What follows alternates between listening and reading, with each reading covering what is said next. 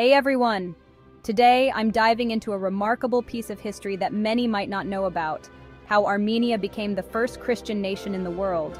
This is a story not just of faith, but also of power, struggle, and identity. Let's set the scene. The year is 301 AD.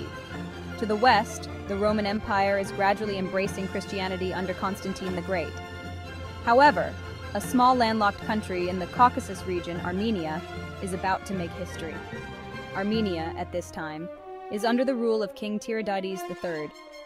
The king, initially a pagan, is influenced by a man named Gregory the Illuminator.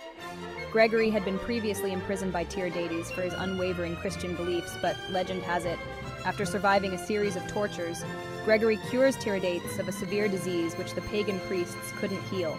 This miracle leads to a transformative moment for Tiridates and for Armenia. Moved by Gregory's faith and his miraculous recovery, King Tiridates converts to Christianity. But he doesn't stop there. In a bold move, he declares Christianity as the state religion of Armenia. This is groundbreaking because it's almost a decade before Rome adopts Christianity officially. Now, why does this matter? Armenia's conversion establishes it as a pivotal player in the Christian world. Monasteries and churches sprout throughout the land, becoming centers of not only religion, but also learning and culture. The invention of the Armenian alphabet by St. Mesrop Mashtots in 405 AD further strengthens this, enabling the spread of Christian literature in the vernacular.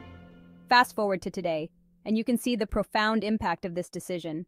Christianity is deeply woven into the fabric of Armenian identity. The country's landscape is dotted with ancient churches and monasteries, some of which are UNESCO World Heritage Sites, standing as a testimony to Armenia's pioneering role in Christian history.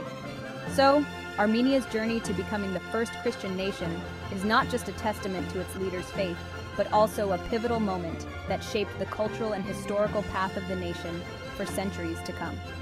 Thanks for joining me on this historical deep dive.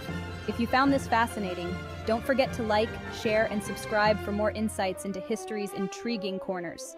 See you next time!